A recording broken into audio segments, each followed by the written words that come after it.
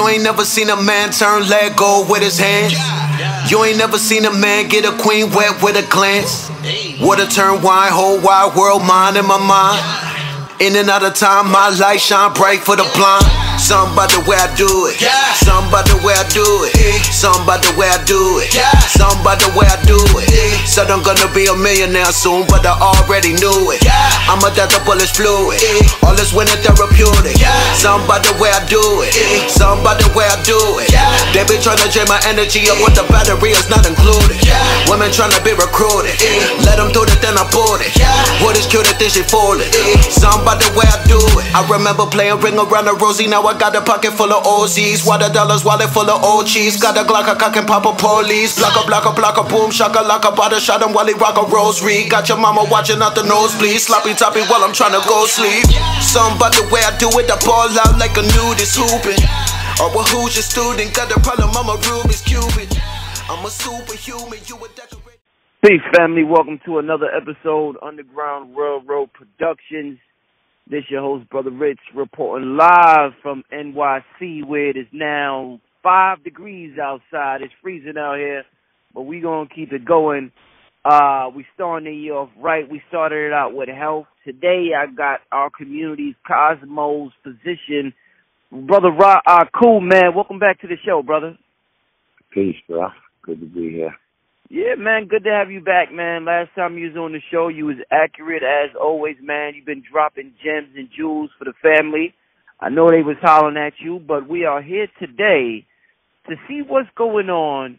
It's it's what we call a new year. Some people say the new year start in March, but I want to know what's going on for 2018. You know, all these rich people, they got their astrologists, the politicians, the presidents, they got people that they travel with and they let them know what's going on celestially, you know, what's going on in cosmos so they can know what's going on.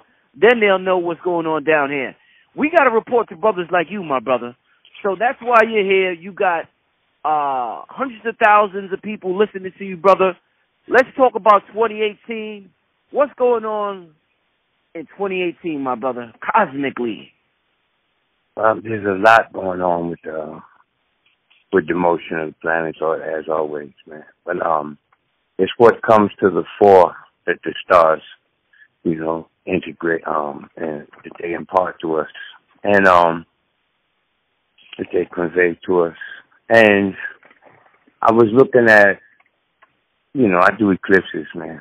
You know, that's my thing because the eclipses are significant motions that only occur periodically. They're not every week, every month occurrence. So they do happen four to five times a year. They got a new eclipse coming up. It's a it's a blue moon eclipse, so it's rare. You know. Um, when, when is that? When is that coming? January the thirty first. Okay. This year, you know. So it's Okay. like uh what's today's date? The uh the sixth? Yeah. Three and a half weeks away. You know. And eclipses deal with the signs that they're in and the secondarily the, the planets that compose the actual chart give indications of what's going on. And this eclipse is occurring um it's the first one of the year. It's a full lunar eclipse and it occurs in the signs of Leo and Aquarius, the sun being in Aquarius and the um moon being in Leo. And, and the moon itself uh, you know, it's a full moon eclipse. It, it primarily deals with women and the feminine nature and the domestic situation. So for this country, you know, we're going to see trends of um, the super moms, you know, the uh, the single mothers who are independent because Aquarius deals with independence. So there's going to be a lot of noise being made about women in the professional and political arena, you know, having to do with their rights, their human rights, and their rights as women, to, you know, to participate in the in the field in the realm of men, so to speak. And we're going to hear some of that. At the same time, this uh, eclipse is a continuance of that Leo eclipse we had last summer, and you know, Leo deals with children. So this pedophilia came to the fore in the media, you know, as a result right. of that Leo eclipse. Yeah. but because this new moon is going on in Leo, then you're going to get a rehashing or a, um, a furtherance of that cycle having to do with children. And we're going to hear a whole lot more about that, especially because it's just what a few months ago they they they um had a referendum or a vote or something to discuss the the validity of, of pedophilia, man. Like you know what I'm saying? And even though this was like outrageous, you know, it, it, they would even come to the to question the motion of the planets in our solar system gave indication to it. So the fact that it's going on in Leo again at the beginning of the year, we can before the spring ends you know, be, before summer, in the next six months, we can look to see it remain as a topic to be uh, paid attention to, man. You know, and we as a people have to really take into consideration the the consequences of such action being taken by the law because it's not their children that's going to be negatively affected by this most. It's our kids, man. You know, they're not talking about their kids. They're talking about, they're talking about ours. You know, it's like whenever when the draft was in effect for Vietnam, no congressmen, no people in positions of prominence were worried about their children being drafted. It was our children. So it, it's the same way, man. And um, they legalized pedophilia. You know, it's already rampant. So if it gets to a point where it's permissible on any level, then it's going to get way more rampant. And you know, uh, American people altogether, regardless of ethnicity, man, have a tendency to be complacent, and they let these people put rules into effect that you know we rebel against later, and to rebel or revolt or stand up against later, to take a stand against later, is what the Aquarius indication is given here. And the the ruler of Aquarius is an Aries, a sign of war, violence, and hostility. So if it gets to the point where they actually allow this pedophilia thing to go on, we could see the same action being taken against pedophiles that was in, you know, vigilant, vigilante being taken when it comes to uh uh like those like those clinics that they were when they when they when they had an issue with abortion. Abortion too will become an issue because Aquarius is the sign of abortion, you know, being that it diametrically opposes Leo. So these things are what the, the, the first part and the middle of the year are going to entail. We're going to see a lot of that, you know. Um, in terms of uh, other events, you know, on a mundane level, we're looking at the, the naked solar system without any um, input from other charts. And, you know, normally for people, people that are listening to this broadcast and they are, you know, eager to know how it's going to affect them, we can only generally poke at your birth chart because we need to see your actual birth chart in comparison with these transits. But these transits for the mundane effect, you know, how they affect humanity as a whole, without giving examination to individual charts, you know, I put a lot of emphasis on the retrogrades, you know, because they are significant motions. And I don't put as much negative connotation on it as the mainstream astrologers do, because number one, you know, they take the meanings of retrogrades from ancient astrologers who for the most part were religious and looked at the motions of the heavens for impending doom only or, or mostly. And they, they followed Claudius Ptolemy from the, uh, from the Almagest, this, this astrology, but one of the first astrology books ever written, you know.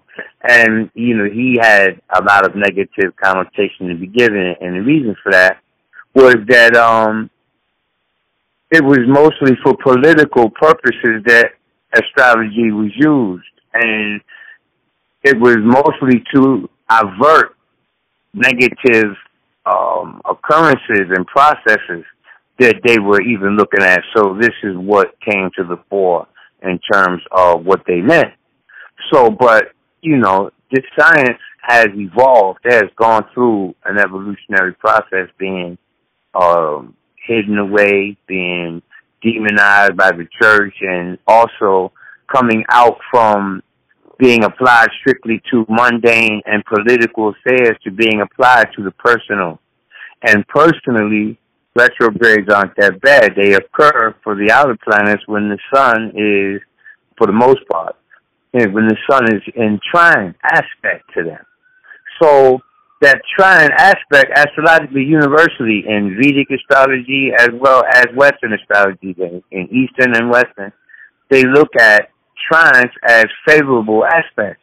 And since most of the time, you know, you have with the exception of Mars and, and, and a few other planets, uh, uh, retrogrades occur when they're trine to the sun, then on an individual basis, they tend to be good.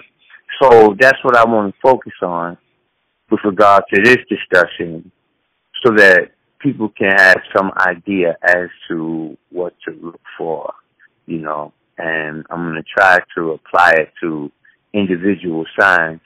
And for those listening, they need to be mindful that this pertains to the sun sign that I'm speaking on when I mention it, mm-hmm. and it pertains to the ascendant of the same sign, the rising sign of the same sign. And, you know, my experience as an astrologer, you know, I understand how it is not very popularly known that the rising sign really is who you are. So a lot of you people are going to hear this and then say, well, I'm a Leo, and that, that didn't happen to me. Well, you better check your rising sign. Check the rising sign that I mentioned because what I do mention pertaining to the sign also applies to the rising sign for the most part. And that's really where I'm speaking to. So um, hopefully I give y'all some inspiration to further your knowledge in the in the subject before you draw any strong conclusions to with it. All right. Now, um, the first retrograde that we're going to have is with the planet Jupiter, and that occurs on March the 9th.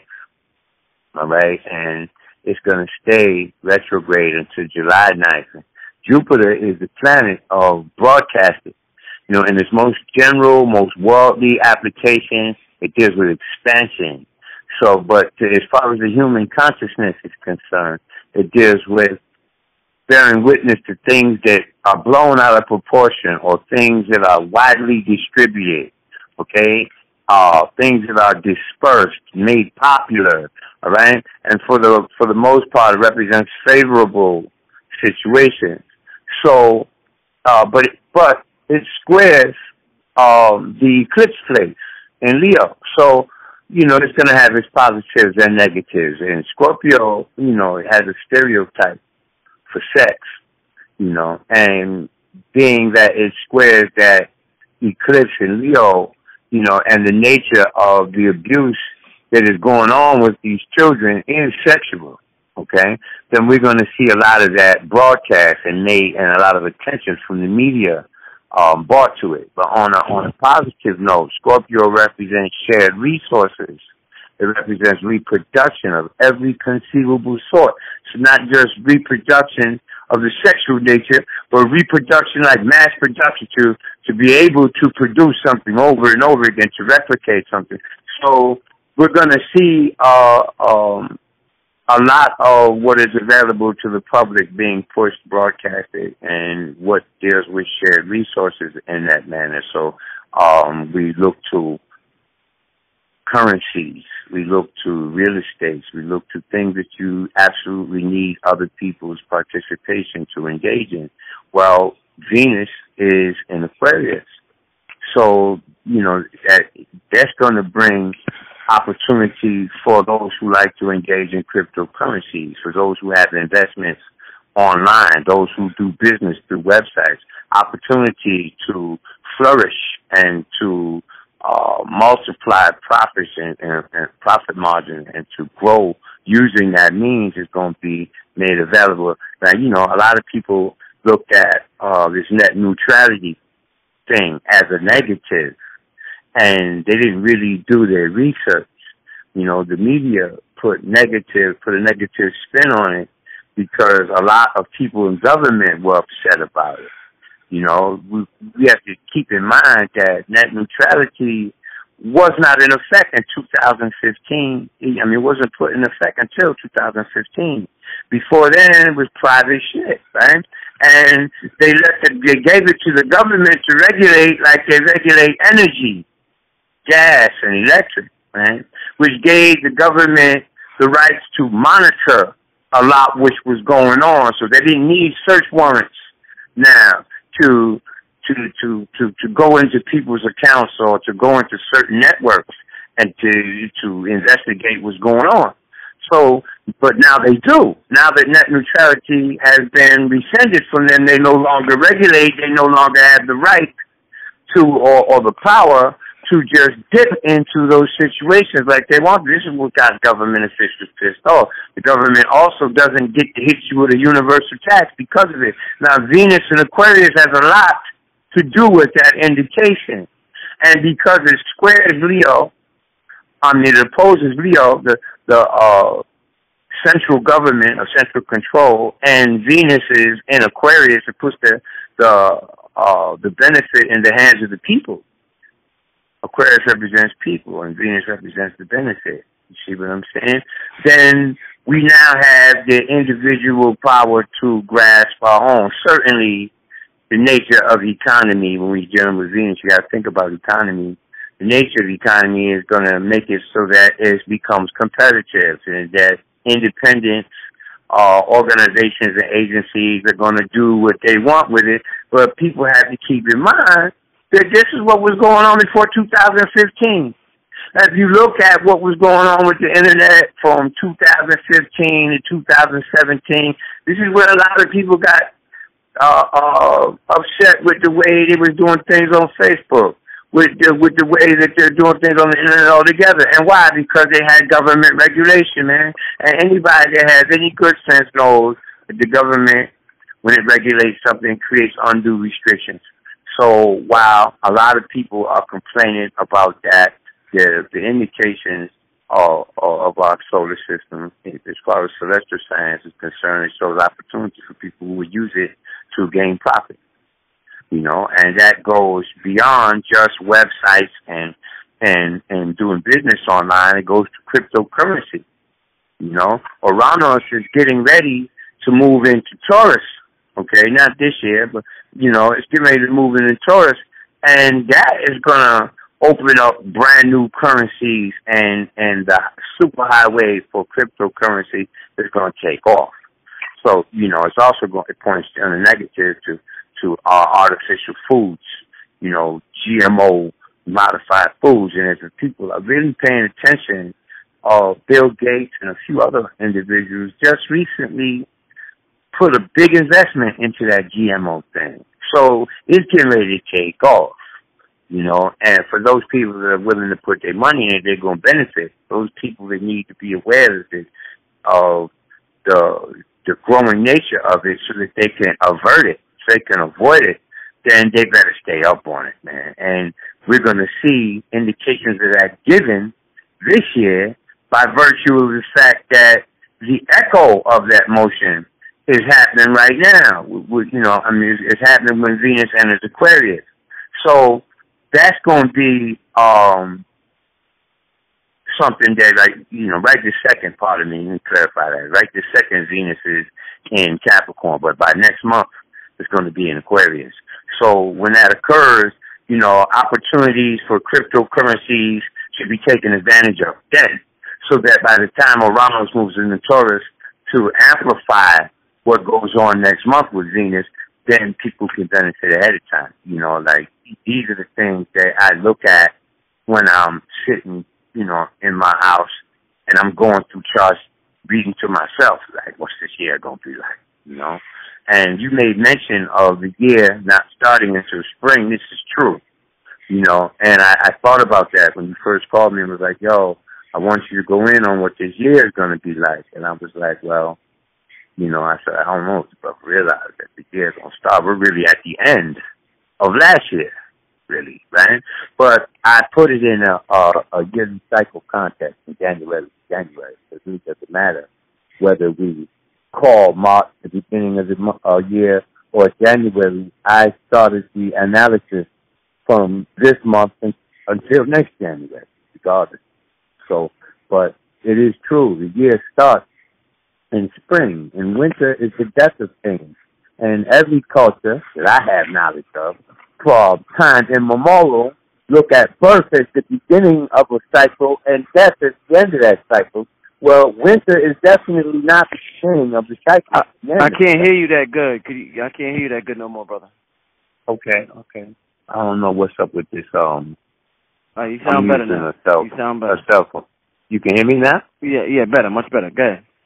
Okay. What I was saying was, as far as I understand, every culture from time immemorial has looked at birth and the blossoming of a thing at the beginning of the cycle, and death or the degeneration of a thing or the, the dormancy of a thing as is death. So and its end, consequently, right? So uh, in all actuality, uh, spring is the beginning of the year in terms of life and nature, right? But this calendar that we're using is the Gregorian calendar is a copy of the Egyptian calendar, and they're looking at the cycle of the uh, the dog star Sirius and its alignment with the Earth and the Sun. Okay, just a few hundred years ago, when they well, two thousand years ago, when they formulated and instituted this calendar, January the first concurred with the pinnacle of, of the dog star Sirius and its cycle. It, it was at the midheaven. In other words, it would be due south at midnight on January 1st. And the sun would be exactly on the other opposite side of the planet Earth. You know, therefore, the sun, the earth, and Sirius would be in alignment. And that's what they based this Gregorian calendar on. The fact that 2,000 years has passed has removed that uh, that so now when you go out there, it's about nine degrees off. When you go out there, uh, uh, Sirius is not perfectly conjunct in midheaven. It's about nine degrees west of due east. I mean, uh, west of due south. You see. So, and in July the fourth, it, it is opposite. You know, the uh, the sun conjuncts Sirius, and the sun is between Sirius and the Earth, as opposed to the Earth between the sun and Sirius at the beginning of the year. So this is the discrepancy with with, with regard to what when the year begins and when the year ends. It all depends on what point of reference you're using as the beginning. Okay. Um, in April, Saturn goes retrograde in Capricorn. See, now what's deep about Saturn and Capricorn is that it's called home. It's at home. It's in the it's in the zone that it has free reign over when it enters Capricorn, which is 270 degrees from where the sun is on the first day of spring. okay? And what's deep about that is like it was fairly warm down here in Atlanta where I'm at, you know, until Saturn entered Capricorn and it suddenly got cold, you know, and that di- directed my attention to the nature of Saturn and the nature of Capricorn because Capricorn is the winter month in the northern hemisphere, all right? And Saturn itself represents coldness, the temperature, you know, the feeling of being cold. And oh, you got meteorological astrologers who made forecasts with that regard, saying it was going to be a harsh winter because of Saturn's ingress into Capricorn while the sun was ingressing. So the sun was conjunct Saturn, giving it extra strength and power while it was moving into Capricorn. And uh, lo and behold, all kind of announcements came forth. I know everybody's heard of it, but I'm going to draw attention to it. The blizzard that they got happening in Miami. You see what I'm saying? That is a Saturn in Capricorn thing. So we can look to this winter to be a little harsher and a little colder than the last winters for like the last 10 to 12, maybe even 15 years. All right? And indication of that is given by Saturn's motion in the Capricorn. It is not the cause of it. It is indications. You know, a lot more has to do with temperature here. The fact that the poles are drifting, the fact that um the sunspot cycle is, you know, all of that every 11 years, all of that has, has input as well. You know, it's a, a gigantic machine, this solar system we live in, man. And it's like a, a calibrated Swiss watch, man, uh, with, with, with hundreds of parts, really, right? So, uh, from April 8th until September 5th, Saturn will be retrograde. And what needs to be paid attention to here is, you know, the sun is in Aries when it goes retrograde. So the self being the sun, you know, wherever Aries falls on a person's chart, and for people who are Aries, sun or rising sign, right? Or people who have uh, an accumulation of planets in the in the space that we call Aries in the sign of Aries in their birth chart, then we're going to see a lot of self industry that needs self discipline that needs to be applied. A lot of what you are comfortable with is going to be uncomfortable for you in the beginning of that retrograde cycle. And the purpose of that is to draw attention to those things that need maintenance, that need to be rebuilt, that need a disciplinary hand applied to it, that need the focus and attention of steadfastness, the perspective of maturity and responsibility applied to it.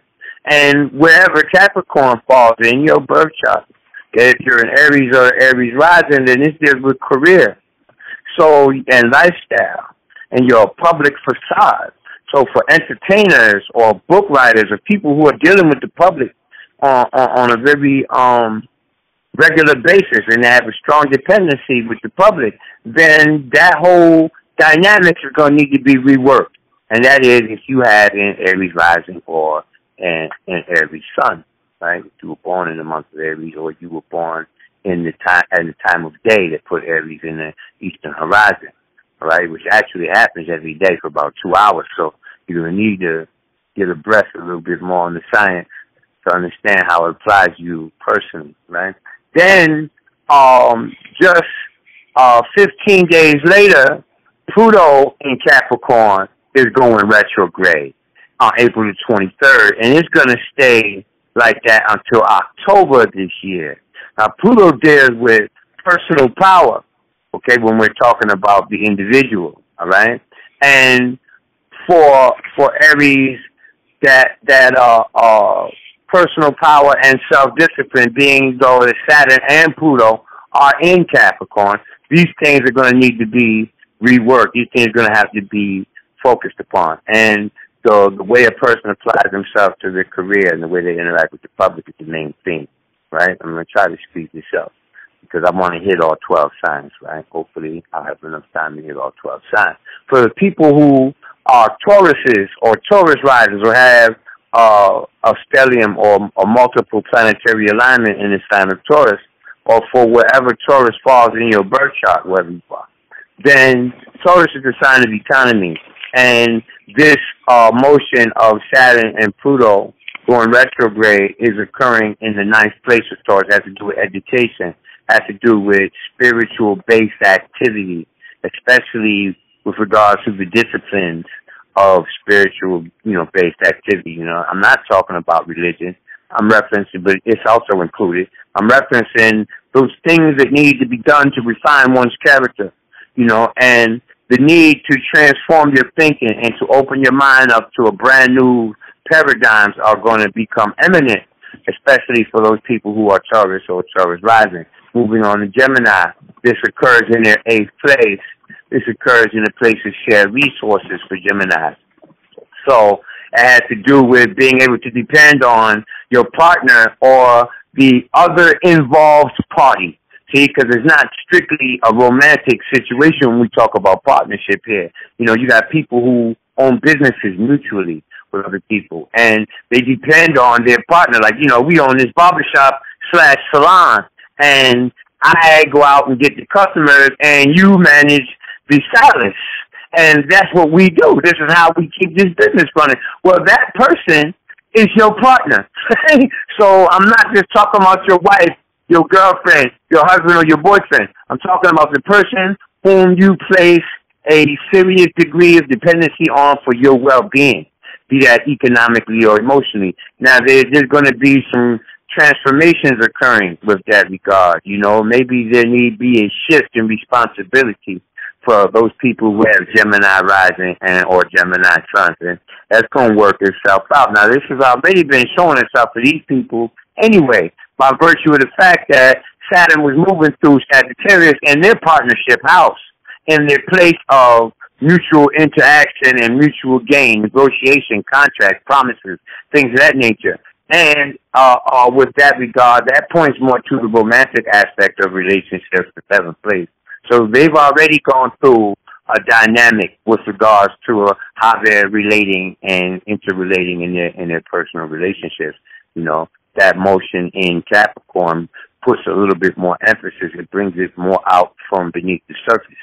All right. Um, for the Cancer and the Cancer rising, and those people that have a predominance of planets in the sign of Cancer in their birth chart, then this has a lot to deal with their uh, their relationship dynamic because it's their seventh house. Okay, so for Gemini, it just passed the last few years. It has applied to their very personal relationships. Now it begins to affect the cancers, and because Pluto is there with Saturn, for for a lot of people, not just the signs that I'm mentioning, you're gonna see transformative and irrevocable life processes occur that have to deal with the father's side of the family or the disciplining parent if the father wasn't the disciplining parent. You understand? Really important to the disciplining parent, just that traditionally, uh, fathers, the male counterpart is traditionally the disciplining parent, but you have single parent households and um, you have uh, household where the woman is the disciplining parent. So it would happen to whoever was the disciplining parent, to be more specific. And it concerns grandparents and their side of the family, great aunts and uncles. So when I say irrevocable life processes, you should be able to put that together. You know, you have some sick relatives that on your on your disciplining parent side of the family, it would be really good to get up under them and get the information you need from them, family history, or to interact with them because, you know, that's a sign that they're not going to be here for so much longer. But I don't want to dwell on that for too long, right? I just want to put it out there. Um, for the Leos and the Leo risers and people who have predominance of planets in Leo, this is occurring in their place of work and in their place of services rendered or received, as well as the place that deals with um, your regimen, your diet. So we're going to find a lot of Leos and Leo risers changing their diet, changing their work regimen, their workout regimen, the way they dress, the way they eat, the way they actually function, their health, their condition. And a lot of Leos and Leo rising women that I know already are talking about um, changing their diets and getting on new health plans because the sixth place deals with health. All right, that's personal the, uh, the personal application. Uh, on a more interpersonal dynamic, it deals with the workplace, actually the jobs. So for you people that are having work there, you're not satisfied with the work that you're doing. You're not satisfied with the job that you're given to do, and it's time for y'all to start looking for other places of employment. Make sure that you act like a gorilla.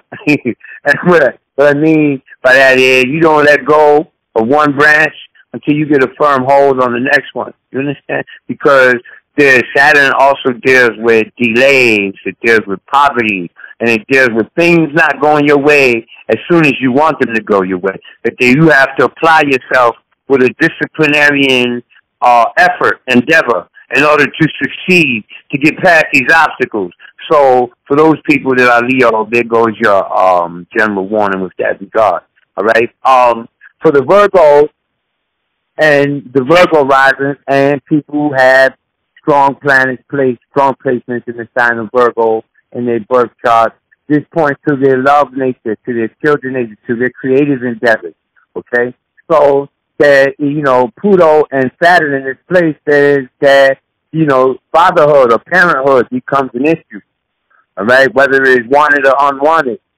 Uh, it also points to the stability, Saturn being need, uh, uh, needed to be established in order for children to come about, for the birth of children to manifest with Pluto in the fifth house. Okay? And it also points to speculative venture.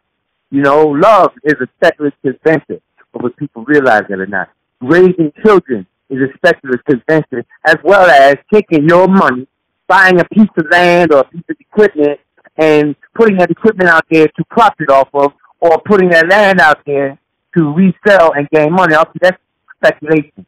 There are other forms of speculation. I'm gonna leave that to y'all to, to look up, you know. But whatever you find yourself speculating in is, is, is, is going to be a need for the motif of Saturn and Pluto. And this is going to bring up to a concentration between April and uh, between April of this year and September this year, because this is when Saturn goes retrograde.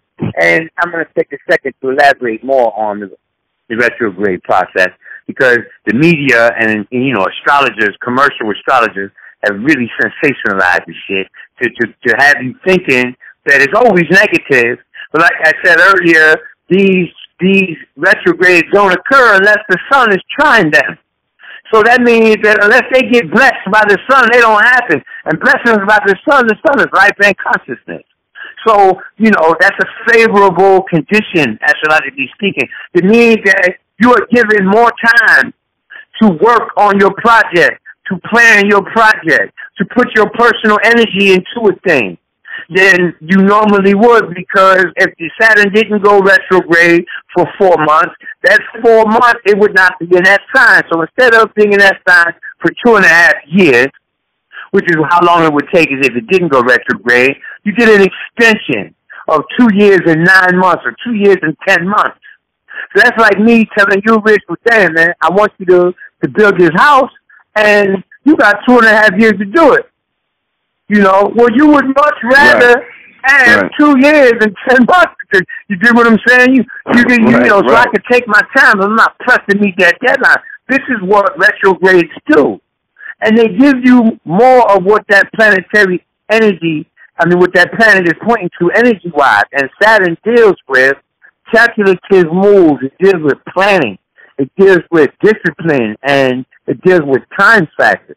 So you have more time. You have more opportunity to develop your discipline. You have uh, uh, um, more opportunity to establish a stable base from which to operate. You see? And for those people that are thinking about having children, for you Virgos, for you sinus allergy catching, headache, uh, or sinus allergy, high blood pressure uh, experiencing, these people that have issues, this is Virgo rising. Okay, you don't have to be a Virgo to get that. You know, you can be born with, with, with Virgo in the ascendant. And these people are the focus is on children. And also the uh, a tearing down and a rebuilding of your disciplinary program or your disciplinary perspective. You're gonna have to look at new ways to to deal with your children and their behavior, basically.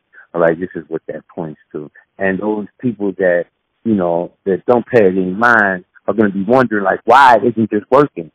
You know, we've been doing this. This is how I've been implementing the discipline. I've been had him on this program. I, I've been had her doing this. It just doesn't seem to be working for her right now. Well, those two planets, Pluto is transformation, and Saturn is tearing down and rebuilding. So you must transform the way you approach that scenario through a systematic tearing down and rebuilding of your perspective on that, as opposed to feeling that the child is being unruly, you know, or that being a parent is is not the thing to do right now. You know, you have to rework things. You have to reset and uh, recalibrate in order to accommodate the new challenge that comes through. All right, and for those people who are Libras, this is occurring in their place of domesticity and is dealing with their nurturing parent.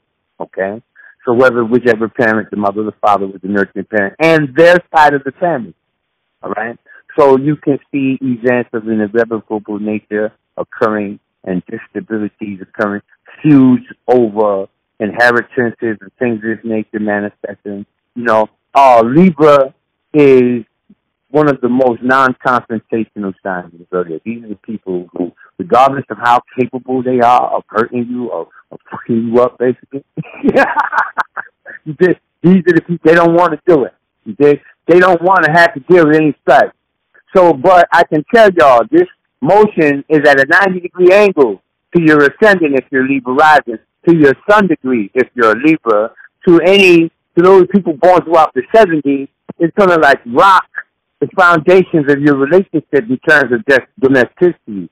So you living with a partner, and uh, whether y'all are married or not, you both have a, a, a vested interest in the domestic situation. Well, Saturn is going to bring some instability and the need to transfer authority or responsibility is the theme, it's the motif of that Saturn Pluto uh, conjunction going on in there. And when Saturn goes retro, it's also like when you on your mark, get set, go. When you're ready to go on a race, you know, that planet will be on your mark.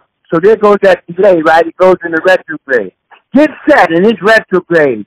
And then when it when it when the when the starting shot is heard, it goes direct again. Right? So you have that time to set yourself. Don't be surprised when the situation gets to the point where things have to change and you haven't acted in, you know, in advance. Don't feel overwhelmed and be like, oh my God, like this ain't working. I got to deal with this bill and that bill. When you're giving, you're being given forewarning right now.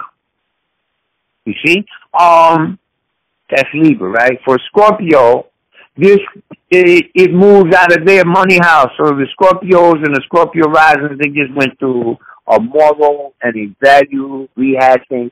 A financial, materialistic view on life has been totally transformed. You dig? It has moved itself now in the Capricorn and it, it deals with your mindset and your perspective, the way you're looking at things and like the way you communicate yourself and ideas. Those who are um, taking on new fields of study are going to see that it's not as easy as they thought it was going to be. You know, it's like when people come to me trying to learn astrology and their first lesson, they're like, whoa, uh, yo, dude, I didn't know that astrology was like this. I'm like, yo, dude, this is the science of life. What you thought was going to be a cakewalk?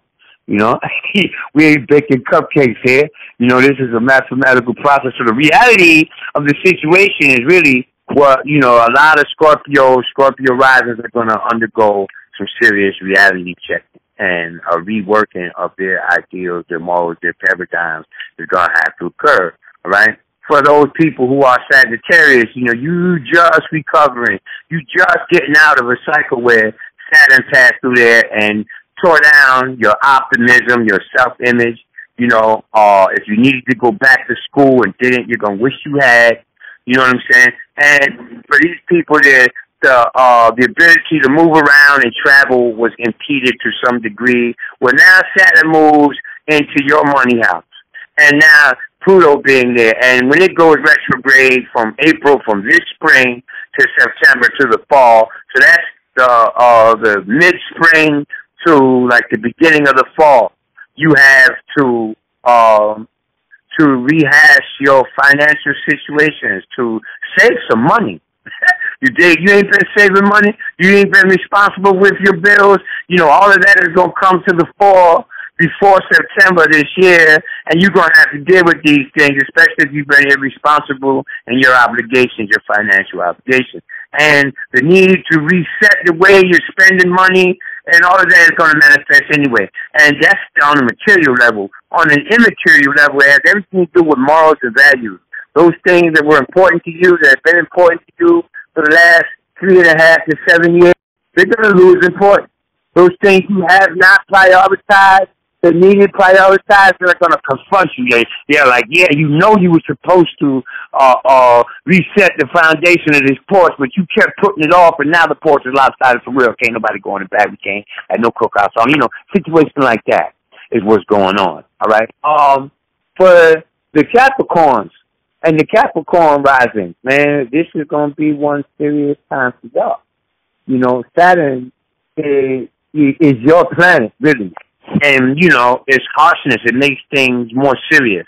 And where Capricorn was standing right up and said, "Yo, I'm a serious motherfucker anyway. You know I can deal with this shit. Like, you know I can handle this burden. You better and you better put your disciplinary hat on because now you are required to exercise that Capricorn aspect and nature that you in possession of. Really, that's for everyone, but more so Capricorn suns and ascendants because the sun represents one's self-image.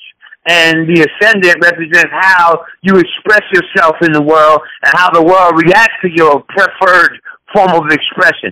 So your timing, you know, is everything to Capricorns and planning. These are the people that tell you, wait, man, I need time to process this shit. I need to, you know, it isn't that they don't understand. They just want to shift through it, man. They can get a really good feel for what they're dealing with. Well, the opportunity to do that, if you haven't had opportunities, it's going to manifest itself. And if your planetary uh, uh, alignment sets it up so that you haven't, mean, so that you have had that time, then you're going to find yourself that being challenged okay? And for the most part, your sense of security and stability with regard to your own personal image or and or your own personal form of self-expression is going to go through drastic challenges and therefore upheaval and change.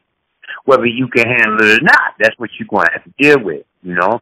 This is like, you know, you, you, you got winter tires for your car, you, you, you, you know, you, you got the insulation on the windows in your home, so you are prepared to deal with a harsh winter. Believe me, dog, that don't keep the winter from being any harsher. It still snows. The snow still gets two feet deep. You still got to shovel snow in your driveway. It's still it's still wintertime. So where you are able to receive the comfort of your home because you did what? You put things into place. You acted responsibly. These are the lessons for Capricorn and Capricorn rising. Really, Saturn deals with responsibility, period. So everybody is going to be confronted with responsibility with that regard. But where it hits them depends on where the sun sat or where their ascendant sat in their birth chart. And, you know, that's what I'm emphasizing. So for those people, I know some people going to be confused because, you know, you just coming into the knowledge of this science or you haven't delved into it deep enough to really comprehend fully what I'm getting at. I am trying to put it as simple as possible, right? For Aquarius, um, this this is going down in the 12th place of your sun ascendant or Aquarius planet, and the 12th place deals with your spiritual self. It deals with those intangible aspects of life. You know, like your self-conscious, your dreams, and your ability to sleep when it starts to manifest. So there, these people are going to be disturbed. Their sense of the peace of mind and sense of inner security that is not bore witness to by the, by by through normal process or by everyday people in their life or their nearest contact. This is where they're gonna find an upheaval and a and uh, a tearing down and a rebuilding to be necessary. And their sense of privacy is gonna feel violated. So, you know, where where they've been able to function without any supervision, without any uh, repercussions, without any reproach, then that's not going to be so easy. So, you know, especially people who are dealing in extra relationship affairs. You know, you cheating, you engaging in secret activity that you don't want your partner to look to be, you don't want your partner to see or realize, look to be exposed, man. And, or, or for some type of exposure to manifest it will often resent, result in resentment, which is Pluto, and a need to transform that activity and heal and you know to to recover from that activity once exposed and Saturn separation. So if you are engaged in activity that doesn't behoove your relationship, strongly advise you get your shit in order. and those private aspects, behind the scenes aspects of work, okay, let's take it out of the you know the moral arena and put it in the social professional arena, then you, there's going to be a need to exercise discipline and restraint where restraint and discipline were uh, ignored or avoided before. And the, you know, neglect was that regard will manifest within two and a half years to the point where you're going to really feel like, yeah, how did he know? And he wasn't even reading me. You dig? I am reading you. You know, I am reading that aspect of you. So, um, the next after that is Pisces. and because this motion is occurring in the uh, the sign of Capricorn, in relationship to Pisces, this deals with their elders, their social circles, their aunts and uncles, the, preferably the disciplinary parents, brothers and sisters, or peers. Right. So at the time that you may see your aunts or your uncles or your or your parents' friends going through some difficulty, that is a sign for you to recognize that this that sin or similar the same or similar situation is impending upon your person because it deals with your social interactions. It may not even pertain to you; it will pertain to your friends, and therefore affect you through your interaction, your inability to interact with them, your inability to help this situation. If it messes with you uh, personally, the 11th place deals with goals. It deals with hopes and wishes, okay? Things that you have not yet put your hands on that you hope to acquire or that you hope to attain, you know, obtain or attain, all right? Maturity or status wise. And it's going to affect you in that area. It's going to require that you take some losses. About 15 minutes. Thank you, man. We got about 15? No, my fault, brother. My fault. I'm talking to somebody else. Go ahead. Yeah, okay. So for those people who are Pisces, Pisces rising, and you know, you're gonna find that your social circle is affected primarily by this motion, and the need to adjust to that if you function and you have a high dependency on alliances and social in your social network, and I'm not just referring to the computer, man. You know, Facebook and shit. I'm not referencing that. I'm referencing your social network, people that you need to get things done, who you interact with, that you have amicable relations with. All right, and your elders, you know, so forth. I don't repeat myself. Let's go on on to the next one. Aries, I discussed that, right? Uh, we did it full circle. Right, right. You know? You went full circle, right. Yeah, Well, man. okay. Now that was just the the Saturn uh uh Pluto retrograde. You know, we I'm gonna try to be quick about this. I'm not gonna give it full circle with you because I don't have time. All right, but people, we can look to June. Uh, from June to November, Neptune is going retrograde in Pisces. We're going to see a lot in the news about the recreational use of marijuana again. You know, this guy, uh, Sessions, whatever his name is, he just initiated some kind of program that, that impedes the legalization of it. So that's going to come to the fore this year. Action with that regard, tension between state and federal in that respect is manifesting. I don't know how they're going to do it. You know, I, I didn't really have time to, to look at every single thing yet. It usually takes me about a month or month and a half you know, and I usually don't get these things in order till February, right? So, so pardon me, right? Um, in June, Aries goes retrograde in Scorpio, and and let me tell y'all something, man. Um, uh, um, Aries and Scorpio has always, you know, from from as long as I can remember, and I've been tracking. Uh, pardon me, Mars to Scorpio. I've been tracking Mars for like the last twenty five years. Whenever you enter Scorpio, you know, police violence and uh bloody murders and things of this nature, slaughter, you come to the fore. Like, whoa. So, you know, we're going to hear about the uh, abuses and life being taken abroad and at home. And, you know, there are, hopefully it's not just going to be one-sided. You know, I'm a bit militant. It won't be just some citizen getting blasted. You will hear about uh, uh, some officials catching heat as well. You know, that's highly likely with Mars and Scorpio. All right, that goes retrograde in June. Um, it stays retrograde until August. And normally, you know, uh, Mars can stay retrograde for up to five months. This is a short retrograde cycle. And the faster a planet is moving, uh, the more intense its uh, indications are. So it makes it even more likely that, be, that this summer, between June and August, we're going to see some serious violence between police and citizens manifesting and kicking off, right? And, and from July 3rd to July 21st, Mercury goes retrograde, all right? That's an opportunity to rehash your ideas, to, to, to get your paperwork in order, to, you know, if you haven't made those applications to certain job places and you want to do that, it's an excellent time to start job hunting, you know, because you're given, and Mercury deals with Virgo, with work and jobs. It also deals with paperwork, applications, and communications. So any communications that need to be put in place to facilitate a better means of employment is ideal if you're not content with your career to handle this type of business between July 3rd and 24th. And then from August the 8th to January of next year, we got Uranus and Aries going retrograde.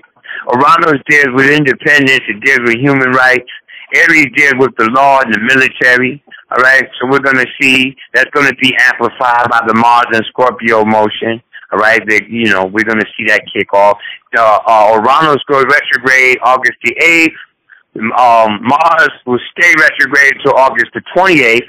So therefore, Mars will still be retro on August the 8th when Uranus goes um, um, retrograde, and Mars is going to go direct on the 28th while Uranus is in Aries. And the reason why I'm putting this focus on Aries and Mars and and um, Uranus and, and Scorpio is because the uh, Uranus is exalted. They have a connection. Uranus is exalted in Scorpio, and Mars being there is the dispositor for Uranus and Aries. You know, when I say dispositor, it's like you know you got the amplifier uh, up against the wall on the shelf and then you got a speaker plugged into it that has a cord that speakers on the other side of the room.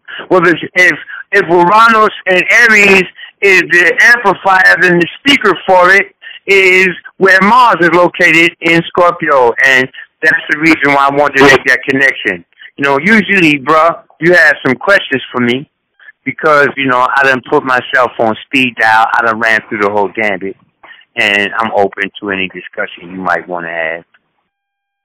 Yeah, just a couple of questions. You're um yeah, you were pretty thorough in your breakdown for this year, so I know the people are definitely going to enjoy it. I'm sure they took notes and uh you can always rewind if you missed out on anything.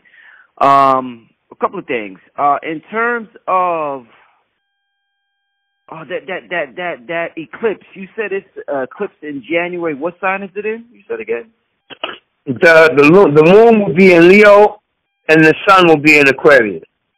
Okay, speaking of Aquarius, you know we we keep hearing the sun is in Aquarius. We keep hearing about the age of Aquarius and uh, what the age of Aquarius brings. Uh, two things I want to ask you about the age of Aquarius. Uh, number one, um, a lot of people are saying with the age of Aquarius, Aquarius, we they, we don't need the traditional leaders that we're used to. So this is why the the the systems are are breaking down, and what we call traditional leaders, people are not looking at them as leaders anymore. My question to you is, I don't know any civilization that functioned in antiquity without leaders. So I don't know when was the last time the age of Aquarius uh, came around this planet. And I wonder if there was leadership during that time because they're telling us now there won't be no leaders. So what can you tell me? Is is that accurate to say that there's no leaders in the age of Aquarius? Because I don't know any ancient civilization that existed without leadership. Go ahead, my brother. Yeah, okay. Let me answer, answer as many of them that come to my mind. Okay. First of all, the last age of Aquarius occurred approximately 25,920 years ago, a little bit less than that, because this age of Aquarius used the measure that I'm using, which is the heliacal measure from the which is 13 degrees in front of the vernal point, not the vernal point itself. Then this age started in um, 1453, around 1453, 1452. All right. Um, to say we don't need leaders, that will never happen. The nature of man re- requires that we designate a leader. This shit even happens amongst the animals, you know. In any community-based uh, society, there's going to be an alpha or a decision maker. Uh, what it is is the way um, that leader is selected. In the age of Leo, which was 12,960 years ago, we developed kingship. Okay? And monarchy stayed the, the format even after there are still monarchs in, in, in effect today. However, monarchy is not the trend for the the superconscious. You know, the superconscious is developed. When I say the superconscious, I mean the collective consciousness of mankind, because that's what the ages pertain to. Thus, during the age of Aquarius, you America was formed. America is an Aquarius form government. What we mean is the people are the rulers. So what we're going to see is monarchy before the age of Aquarius ends, and we got about 2,000 years left for that, okay? Almost 2,000 years. But before that ends, we're going to see monarchy disappear and democracy or Republican forms of government or parliamentary forms of government become prominent. And that's already taken root because in these African countries that revolted and ousted their colonists, they all inducted Republican form of government, which is Aquarian. They they still respected the kings. These countries still have their little chieftains and their kings, but these kings all sit on the Congress now. You see, so that's what that's what that's referencing.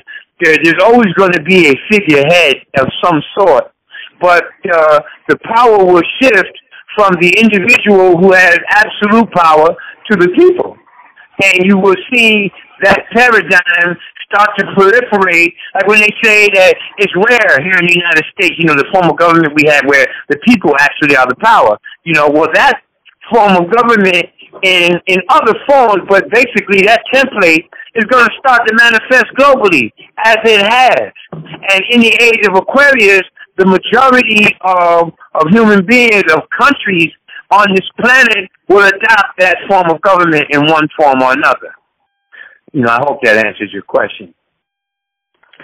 Uh, yeah, definitely, definitely did, man. I'm glad you brought uh clarity to that, clarity to that because you know that's something I just continuously hear, and I'm just trying to analyze present time with my study of uh history.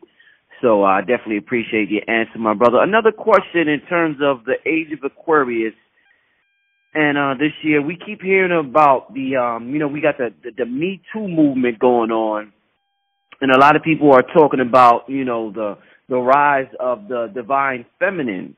And what I want to ask you, I was I was uh, looking, I wasn't reading, I was looking at a video online, and they were talking about how the divine feminine has nothing to do with gender.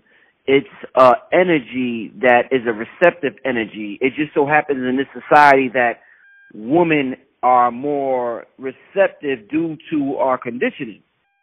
So I was thinking about the um you know, before we all this talk about the divine feminine and, and the age of uh, uh what we just left the age of Pisces and Steve Harvey had that book, the um Think Like a Man, Act Like a Woman.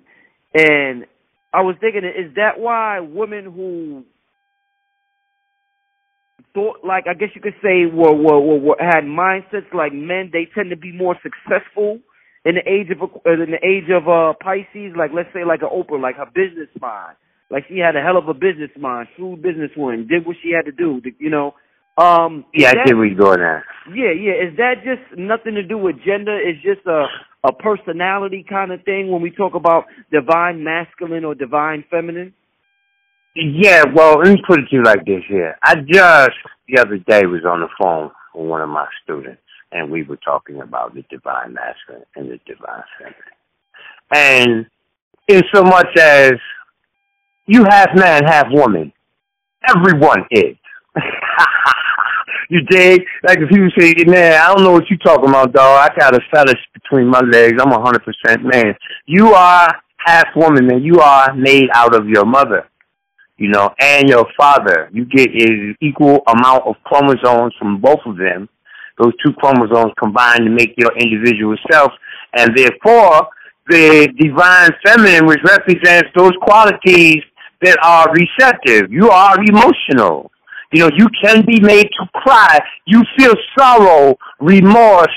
You feel the need to nurture. You love tenderly. You see, you feel the need to make secure your situation. All of this pertains to the divine feminine. The even the idea of being the protector. Like people naturally attribute that to the man. When you look at nature, the feminine side of nature is way more protective. You fuck with a she wolf and her cub. You fuck with a she bear, a she lion, uh, uh, the black widow spotted, the praying mantis. We can go on and on. You know, the um the the reason why we see a predominance of man of masculine thinking women making it in the age of Aquarius is the age of Aquarius is the pinnacle of the patriarchy. As the age of Leo was the pinnacle of the matriarchy. But that was twelve thousand years ago. All right? Now understand that each age has 12 subcycles. So the, the, those 12 subcycles, they the, the, the masculine feminine oscillates in inside of that predominantly masculine or feminine age. Right? In the age of Taurus, which is a feminine sign, but it was between the shift, it was in the middle between the, the matriarchy and the patriarchy. In the age of Taurus, we have what we call the egalitarian government. And and when we look at the age of Taurus, which is like uh, roughly uh, five to six thousand years ago, right? A little bit more, a little bit less. The, Um, you had the Queen Mother, who appointed Pharaoh's nephew and had the power to unseat the Pharaoh. You see? Because the Pharaoh was the embodiment of the masculine patriarchy and the Queen Mother Mut was the uh, uh, his mother, the the Queen Mother had the power to delegate who would be Pharaoh and who would not. So the balance of power and the egalitarian manifesto. So now we have six thousand years later shifted to the supreme masculine, and everything is dominated by men globally. No matter what the religion is, no matter what the culture is, you know, you find a very few small pocket underdeveloped or undeveloped societies like the Andaman Islands and all that that are still holding on to that Leonian, to that age of Leo based government where the woman is prominent in, in leadership. Okay?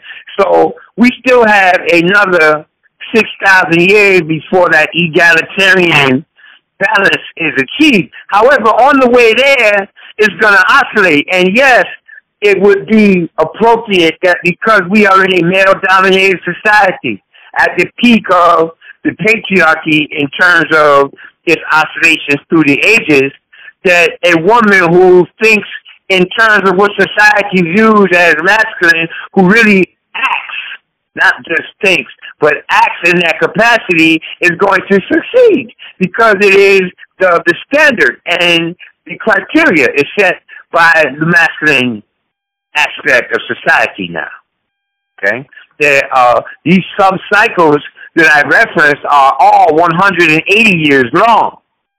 So you find uh, in and out every 180 years that it fluctuates the influence of male dominated decision making and power holding to will give sway to the feminine hold uh, uh, uh, um, power structure you see and it will continue to oscillate in that 180 year cycle there are 12 15 year cycles. So every 15 years you're going to see it oscillate as well. And what it's like uh um sound waves. When you take music and put it into a sound machine to, to, grasp the music, you got the the faint waves, okay, the, the, the wind instruments, you got the the heavy waves, you got the so that's how it works in terms of masculine or positive and feminine or negative or assertive or recept, uh, um, receptive energy.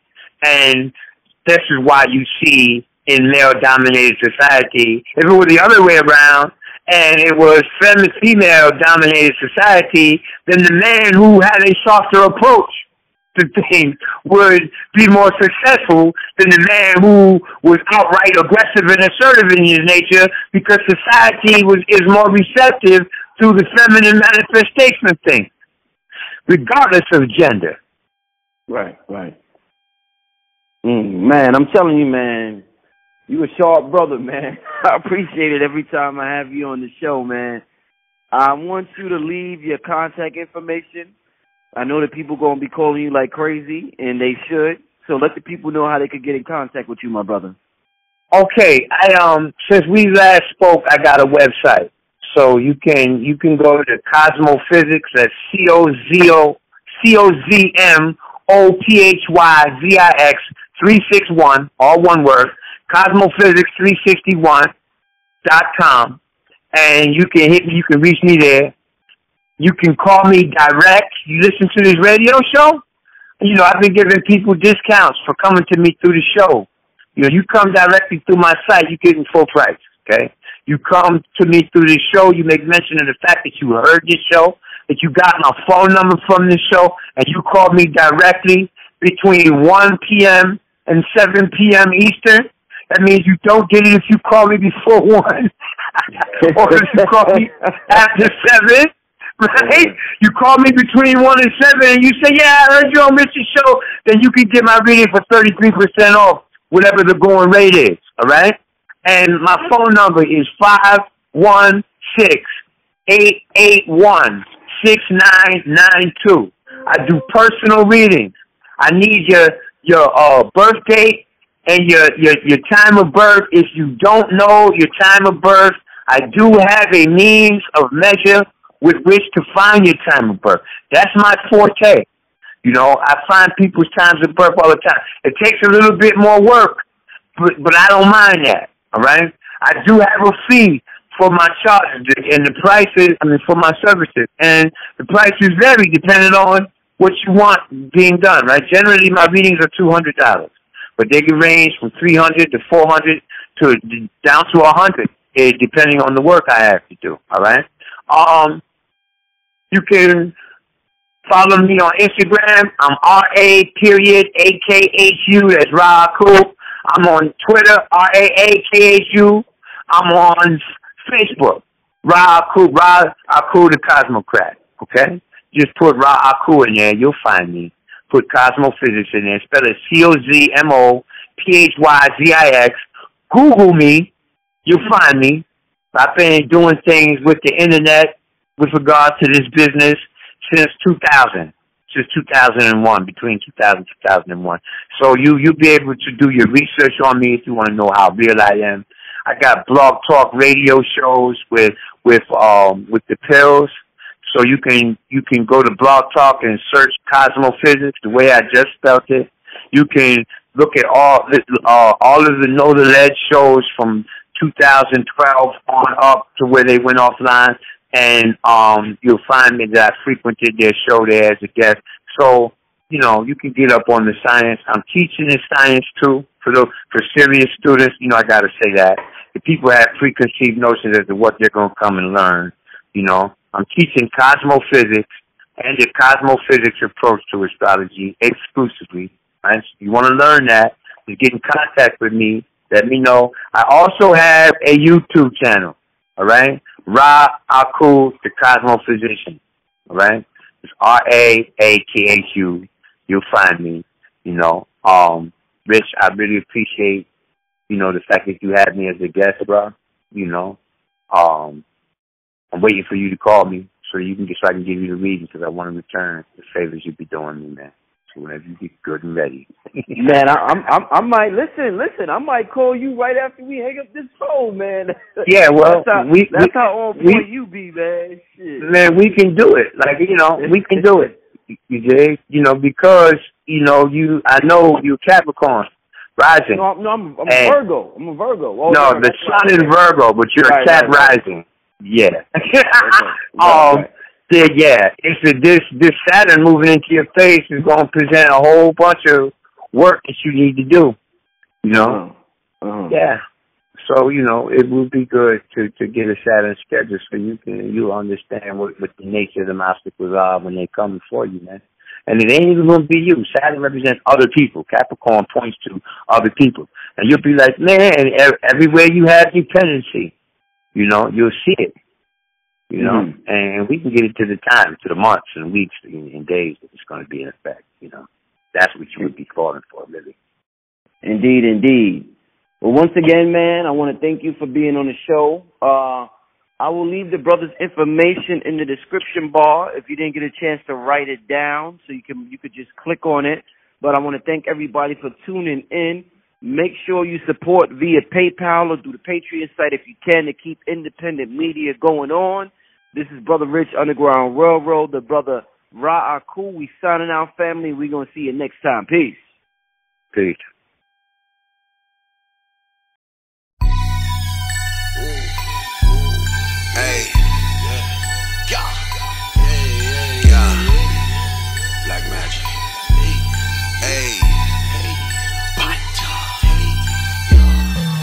You ain't never seen a man turn Lego with his hands.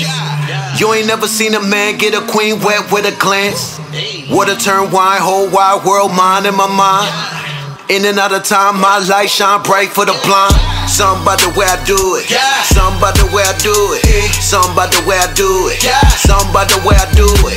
Said I'm gonna be a millionaire soon, but I already knew it. I'm a death of bullets fluid. All this winning therapeutic. Something about the way I do it. Something about the way I do it. They be trying to drain my energy up with the battery, it's not included. Women trying to be recruited. Let them do it, then I bought it. What is cute, think she fooling. Something about the way I do it. I remember playing ring around the rosy, now I got a pocket full of OZs. Water dollars, wallet full of cheese. Got a Glock, a cock and pop a police. Block a block a block a boom, a lock a bada shot him while he rock a rosary. Got your mama watching out the nosebleed. Sloppy toppy while I'm trying to go sleep. Some about the way I do it, I ball out like a nudist hooping.